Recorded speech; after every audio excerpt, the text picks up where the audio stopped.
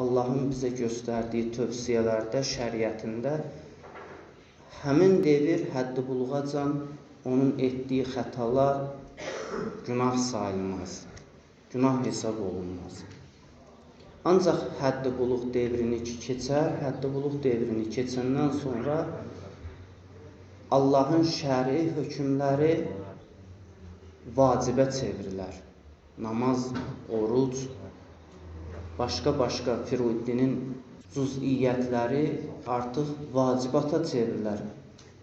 Uşaq ki, həddi buluğu keçərsə. Buyurulur ki, Əl-məvludu yuladu aləl-fitrə. İnsan ki, dünyaya gələr, uşaq ki, dünyaya gələr, o pak fitrətdə dünyaya gələr. Pak olar. Bir uşaq ki, dünyaya gələr, ailədə nəyi görərsə onu mənimsəyər. Məsələn, Məsihidirsə, ailə üzvləri Məsihidirsə, uşaq da Məsihi olar. Yahudidirsə, Yahudi olar. Müsəlmansa, müsəlmançılıq hansı tərzdədirsə, uşaq o adəti götürər. Yəni təsirə düşər. Adət təsirlərinə düşər. Sonradan özünün araşdırması tamam başqa mövzudur. Ola bilər ki, bir uşaq bir Məsihi ailəsində dünyaya gəlsin, ancaq həddi buluğa çatanda, əqli formalaşandan sonra başlayar araşdırma aparar, İslamı qəbul edir. Bu tamam başqa bir mövzudur. Ancaq əksəriyyət, çoxluq bunu daşıyır ki, ailədə nəyi görərsə o həmən yolu tutar, həmən yolla gedər. Və bu gün də özümüz təcrübə olaraq cəmiyyətdə bu məsələlərlə qarşılaşırıq, məsələləri görürük. Əli əleyhissalam Kumeylə buyurur ki, Ya Kumeyl, ma min şeyin illa və əntə muhtacun fiha iləl mərifə. Deyir, ey Kumeyl, hər bir işdə ehtiyaclısan ki, möhtacsan ki, həmin işdən agah olasan. İnsan evladını tərbiyə eləmək istəyirsə, evladın üzərində olan ehtiyacları düşünməlidir. İstəyirsən ki, ona düzgün tərbiyə verəsən, möhtacıq ki, əvvəl evladımızı tanıyaq. Əvvəl onun nə istəkləri var, necə düşünür, birinci bu düşüncələrdən agah olmalıyıq. Ondan sonra istədiyimiz şeyi uşağımıza, evladımıza aşılaya bilərik. Əl əleyhissalam da buna görə buyurur ki, Ya Kumel, ma min şeyin illa və anta muhtacun fiha iləl ma'rifə. Nəyə ki möhtacıq, ondan gərək agah olaq. Bu tək evlad tərbiyəsində getmir. Hər bir işdə ehtiyacımız olan hər bir işdən gərək agah olaq. Bir şeyə ki möhtacıqsa, o möhtac olduğumuz şeyin barəsində agahlığımız olmalıdır, xəbərdarlığımız olmalıdır göz açıqlığımız olmalıdır. Birinci, əgər istəsək ki, evladımızı düzgün tərbiyə eləyək gərək, onun fikirlərini, düşüncələrini incələyək və ondan xəbərdar olaq. Əgər incələyə bilməsək, onun düşüncələrinə hörmətlə yanaşa bilməsək, evladımızı əlimizdən verərik, sonra da peşman olarıq. Bir nəfər İmam Səccad əleyhissalamın devrində Belə buyururlar ki, Həsən Bəsri olubdu. Bir cümlə buyurmuşdu İmam Səccad əleyhissalamın devrində. Bu söz imama çatdı. Həsən Bəsrinin sözü yetişdi imama. İmam çox narahat oldu. Buyurdu ki, bi şey əl-vələd in aşə kəddəni in mat hədd. Bu səhabə üçün İmam Səccad əleyhissalamın devrində yaşayırdı. Buyurdu ki, ən pis şey evlad. İn aşa qəddəni in matə həddəni. Əgər qalıb yaşasa deyir evlad, məni yorar, məni incidər. Deyir, əgər dünyasını dəyişərsə mənə dərd olar. Bu söz İmam Səccad əleyhissalama çatanda imam çox narahat oldu. Bəzi evladlar var ki, həqiqətdə belədir. Yaşayır valideyn üçün bir dərddir, dünyasını dəyişsə də baş, ikinci dərddir. Başqa bir qəmdir. Yəni valideynə o qədər zülm eləyir ki, yaşayır, valideyni yorur. Valideyn əlindən bizar olur. Amma dünyasını da dəyişsə valideyn üçün bir dərddir də, valideyn evlad üçün həmişə can yandırır. Bu cür insanlar, bu cür evlad var və çoxdur. Cəmiyyətdə axtarsaq, nə qədər istəsək, belə evladlar var. İmam Səccad əleyhissalam bunu eşidəndə xəbər göndərdi. Buyurdu ki, ni'məş şey əl-vələd. Ən yaxşı şey evladdır. İmam Səccad ağa cavab verdi ona. İn aşə fəduaun hadir, in matə fəşfiun sabiq. İmam buyurdu ki, əgər yaşasa, cəmaata xidmət eləyər. Cəmaata kömək eləyər, xidmət göstərər. Hamı deyər ki, Allah ona rəhmət eləsin. Əməli salih evlad bu cürdür. Valideynə rəhmət göndərər. Cəmiyyətə xidməti keçər, cəmiyyətə hörməti keçər, cəmiyyətə yol göstərər, köməklik eləyər. Onlar da barəsində dua eləyərlər. İmam buyurdu ki, əgər dünyasını dəyişə valideyndən qabaq elə bil şəfayətçi göndəribdi. Hədisdə var ki, uşaq dünyasını dəyişər, valideynə şəfayətçi olar. Behişdə daxil olmaq üçün bir dəfə mən sual elədim ustadların birindən, dedim ki, bəs o ki bir uşaq ki həddi buluğa çatmayıbdı, bunun boynunda hökm yoxdur. Nə namaz vacibatı var, nə oruc vacibatı var, nə şəriətin başqa səmtindən, başqa yerindən bunun heç bir əlaqəsi yoxdur. Dünyasını dəyişsə, bu əməlsiz necə behişdə gedə bilər? Əməlsiz behiş yoxdur. Cənnətə getmək üçün gərək əməl ola. Xeyrul əməl, namaz, oruc, nə bilim, savab işlər. Cənnət bu cürdür. Buyurdu ki, o Allahın fəzlidir. Allah öz fəzli hörmətinə o uşağı və onun valideyninə də hətta şəfayətçiliyi qərar verər. Allahın fəzl xəzinəsi, lütfü xəzinəsi böyükdür. Yəni deyir Allahın qüdrəti yoxdur ki, bir dənə körpəni behişdə aparsın. Odur ki, hətta körpə uşaqlar ki, dünyalarını dəyişirlər valideynindən öncə onlar öz valideynlərinə də şəfayətçiliyi Allah qərar verər. Hədis bu cür buyurur. Evladın tərbiyəsində bir neçə mühüm məsələ var ki, buna gərək daha çox diqqət eləyək. Birinci məsələ budur ki, evlad tərbiyəsində adət. Misal üçün, hələ e, az yaşlıdırsa, onların məsələn namaza şövqləndirməliyik, Qurana şövqləndirməliyik. Yoruculuqla yox. Misal üçün, biraz yaş həddi 7-8 yaşı var, 9 yaşı var, 10 yaşı var. Biraz meylləndirməliyik gün ortaya kimi oruc tutsunlar. Məsələn, mübarək Ramazan ayı olanda.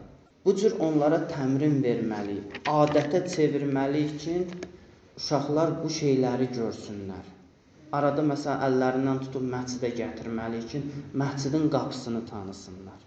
Əhval ruhiyyələrini təmrin vasitəsindən gözəl şəkildə onlara adətə çevirmək lazımdır. Əl-adətu alə kulli insanı sultan. Adət bütün insanlara aiddir. Bütün insanlar adətdə təsəllüt tapmalıdırlar. Məsələn, bir nəfər istəyir qalxa gecə namazı qıla. O özünü adətə çevirməlidir. Yavaş-yavaş, yavaş-yavaş özünə təmrin verməlidir. Bir dəfə iki rükət qılmalıdır. 10 gün, 1 ay, 2 ay, 3 ay bu cür davam eləməli, sonra bir dənəsini də artırsın. Əgər bir dəfiyə, məsələn, sən qalxıb 11 rükət gecə namazı qılamısansa, bunu adətə çevir. Yavaş-yavaş, yavaş-yavaş təmrin ver öz üzərində. Evladlarımızın da üzərində bu cürünə yavaş-yavaş təmrin verməliyik. Dini yavaş-yavaş öyrətməliyik. Bir hədiyyəmi, bir hədiyyə hazırlayaq deyək, məsələn, kəlmə-i şəhadəti örgən sənə bir hədiyyə təqdim eləyəcəm. Və ya imamlarımızın adını örgən hədiyyəm var. Bu cür onlar üçün sürprizlər fikirləşməliyik ki, evladlarımız dinə meyllənsin. Hər hansı sahəni tutur tutsun. Şərt deyil ki, bu dindar olsun, molla olsun, ruhani olsun, həkim olsun. Ancaq öz dinini bilsin, dinindən məlumatı olsun polis olsun, dinindən məlumatı olsun. Nə qədər ki Allahdan kənara düşdü evladlarımız, onların vicdanı, insafı xarab olacaq. Allahla birgə olduğu halda bu vəzifələrə yiyələnsələr, onların cəmiyyət üçün faydası olacaq. Bizə də, bizim də arxamızca rəhmət göndərəcək. Yox, əgər bu tərbiyənin üzərində çalışmasaq, evladlarımızı öyrətməsək, bizim üçün də çox çətin olacaqdır. Rəvayətdə var ki, əl-səbs siyasəti nəqlul adət. Rəvayətdə var ki, ən çətin iş odur ki, adət cəmiyyətdən uzaqlaşar. Adət-ənənə cəmiyyətdən uzaqlaşar. Bəzi müsbət hallar ki var cəmiyyətdə, o onu cəmiyyətdən uzaqlaşdırsan, cəmiyyət məhv olar. Əli əleyhissalam xilafətdə olduğu vaxtı İmam Həsən əleyhissalamı göndərdi ki, bəziləri bir namaz qılırdılar, uzun uzadı müstəhəbbi namazı cəmaat şəklində qılırdılar. Bəzi əqidələrdə bu var. İmam Həsən əleyhissalamı göndərdi ki, bu adəti aradan aparsın. Getdi ki, dedi get onlara moizə elə, onları başa sal ki, belə bir məsələ dində yoxdur. İnsanlar o qədər adətə çevirmişdilər. İmam Həsən əleyhissalama qarşı çıxdılar. Dedilər sən bizim adətimizi aradan aparırsan. Bizə tövsiyə eləyən xəlifələrə qarşı çıxırsan. Amma halbuki müstəhəbbi namazda birinci cəm şəklində, cəmaət şəklində olmaz. İmam hədis gətirdi, peyğəmbərdən tövsiyələr verdi. Gördü ki, xeyri yoxdur. Gəldi əleyhissalamın yanına. Dedi atacan getdim, tövsiyə elədim, moizə elədim, başa saldım, bu adətdən əl çəkmədilər. Deyir ki, əfzəlul ibadə qələbətul adət. Ən deyir fəzilətli ibadət odur ki, adətlərə qələbə çalmaqdır. Sahib İbn Abad adlı bir şəxs olubdur. Şeyx Saduq öz kitabını birinci dəfə hədis kitabını ki, İmam Rıza əleyhissalam haqqında olan hədisləri ki, bir yerə yığmışdı. O kitabı ilk dəfə həmən şəxsə təqdim edibdi, Sahib İbn Abad. Bu öz dövründə vəzir vəzifəsində çalışıbdı. Buyururlar ki, mübarək Ramazan ayında günorta vaxtı kim ki ona qonaq gedərdi, onunla mülaqat edib görüşərdi, əl çəkməzdi həmən şəxsdən. Onu axşamacan saxlayardı yanında, ona iftar verib ondan buraxarmış, azad eləyərmiş. O cür səxavətli bir şəxs olubdu.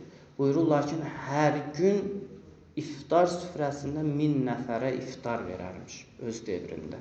Bunun bu adətləri ki var idi, hər gün min nəfərə iftar vermək, səxavəti, insaniyyətliyi, cəmiyyətə xidməti, buna sual eləyirlər ki, sən necə oldu bu həddə yetişdin ki, hətta vəzir vəzifəsindəsən, sən bu savab işlərindən əl çəkmirsən.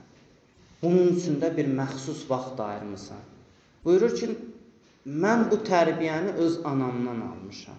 Anam deyir, mən uşaq olanda hər gün mənə bir dirhəm verərdi. Deyərdi, oğlum, qabağına kim çıxarsa, hansı fəqir, miskin çıxarsa, bu bir dirhəmi ona verginə. Deyir, mən də bir dirhəmi götürərdim. Birinci qarşıma çıxan fəqir, kasıb şəxs o dirhəmi verərdi. Uşaqlığımdan bu adət məndə qalıbdı. İndi də bu cür nəyəm? Qarşımda fəqir, miskin görəndə mən bu adətə davam eləyərəm. Və gündəlik ki, min nəfərə iftar süfrəsi bu adətin nəticəsidir, təsirləridir ki, vücudumdadır, ruhumdadır. Ona görə adət yaxşı adətlərə üstünlük vermək lazımdır ki, bu da evladlarımızın tərbiyəsində əsər qoysun. İkinci evlad tərbiyəsində mühüm məsələlərdən biri budur ki, öz evladlarımıza ehtiramla yanaşmaq lazımdır. Onlarla dost olmaq lazımdır. Bəzi qadağaları birdən valideyn elə bir şəkildə, kəskin şəkildə qadağa qoyur ki, uşaq daha da ona meyllənir. Hətta psixoloqlar da bu sözü qəbul eləyirlər. Yəni uşağa nə isə qadağa eləmək olmaz. Onunla dost olub hörmətlə, ehtiramla o işin pis olmasını başa salmaq lazımdır. Qurani Kərimdə Loğman surəsində Allah Taala buyurur: "Və izqala Loğman li, li ibnihi və huve ya'izuhu ya bunayya la tuşrik billah." Allah Taala Həzrəti Loğman əleyhissalamın oğluna tövsiyəsini bu cürünə buyurur. Deyir, o zaman ki Loğman oğluna dedi, o muizə elədi onu. Ya bunayya, ey evladım, la tuşrik billah. Allaha şərik qoşma. Bu ayənin ortasında və huvə yaizuhu kəlməsi gətiribdir. Ona muizə elədi, nəsihət elədi. Əgər götürsək bu və huvə yaizuhu kəlməsini cümlə məna itmir cümlədə. Ancaq Allah nə edir? Deyir, evladını nəsihətlə, hörmətlə, muizə ilə başa sal. Məsələn, desəydi ki, li ibnihi ya bunayya la tuşrik billah heç bir ayənin heç bir mənası itmirdi. Amma ayənin gözəlliyinə baxın, Allah ortada bir dənə kəlmə gətirir. İki dənə kəlmə daha doğrusu. Və huve yaizuhu. Onu muizə ilə. Nəsihətlə deyir, yəni evladınızı başa salın. Güclə, nə isə qadağa qoymaqla yox. İstəyirsiniz ki, təsir qoyasınız, istəyirsiniz onda əsər buraxasınız, dost olmaq lazımdır. Ehtiramla başa salmaq lazımdır ki, bu iş yaxşı iş deyil. Bu işdən çəkinginə. Məsələn, evladımızı məcburiyyək ki, sən namaz qılmalısan, oruç tutmalısan. O bizi aldada bilər. Onun yanında mühafizəçi işləmirik ki. Gedərik iş dalınca gələndə deyərik namaz qılmısan, deyər bəli qılmışam. Yalandan oruc tutar, biz yanından kənarlaşanda gedər arxada orucunu yeyər. Ancaq biz buna elə bir gözəl şəkildə başa salmalıyıq, bəyan eləməliyik ki, onu sevə-sevə yerinə yetirməlidir. Sevə-sevə durub orucunu tutmalıdır, sevə-sevə namazına qalxmalıdır. Və biz də gərək özümüz nümunə olaq. Özümüz birinci bu işləri görək, o da bizə baxıb bu adətləri yerinə yetirsin. Ondan sonra bu adətlərdə mərifət tapmağı özündən asılıdır. O namazı adətə salandan sonra özü namazını mərifətlə qılacaqdır. Mərifətlə yerinə yetirəcək. İmam Hüseyin əleyhissalam gəldi İmam Səccad ağanın yanına. İmam Səccad ağa xəstə idi. Xəstələnmişdi. İmam Hüseyin ağa buyurdu ki, oğlum necəsən? Allahdan bu an nə istəyirsən? Dedi ki, Allahdan heç nə istəmirəm. Hər nə özü istəyirsə, mən də onu istəyirəm. Buyurdu ki, xəstəyəm, mənim xəstəliyimi Allah istəyirsə, mən də razıyam. Allah mənim barəmdə şəfa istəyirsə, ona da razıyam. Nə istəyirsə Allah, mən də onu istəyirəm. İmam Hüseyin ağa buyurdu ki, Biyə-biyən təbəvümmi, atam anam sənə fəda olsun. Sən İbrahim Xəlilullahın buyurduğu kimi buyurdu. Necə ki, Cəbrail əleyhissalam, o, da atırdılar İbrahim əleyhissalamı. Cəbrail əleyhissalam nazil oldu, dedi ki, nə istəyirsən, nə kömək eləyim sənə. İhtiyac yoxdur sənə. Allahım nə istəyirsə, o mənə kifayətdir. İmam Səccad əleyhissalam da bu cürlə buyurdu. Dedi, Allah nəyə razıdır mənim barəmdə, mən də onu istəyirəm. Budur ehtiram, budur gözəllik. Allahdan istəyək ki, Allah təbarək taala axirət zamanda evlatlarımızı əməli salih evlatlardan qərar versin. Allahdan istəyək ki, evlatlarımızı haqq və doğru yola hidayət eləsin. Amin. Allahdan istəyək ki, İmam Zaman əleyhissalamın zuhurunu təcil eləsin. Amin. O Həzrətin Nazənin qəlbini bizdən razı eləsin. Amin. Məlun şeytanın şərrindən, nəfsə əmmarə şərrindən bizləri öz pənahında saxlasın. Amin. Xəstələrimiz var, məxsusən nəzərdə olan xəstələrə şəfay acil inayət eləsin. Amin. Allahdan istəyək ki, ruzisi az olanlara halal və bərəkətli ruzilər əta eləsin. Amin. Allah axır və aqibətimizi xətmi bi xeyr eləsin. Amin.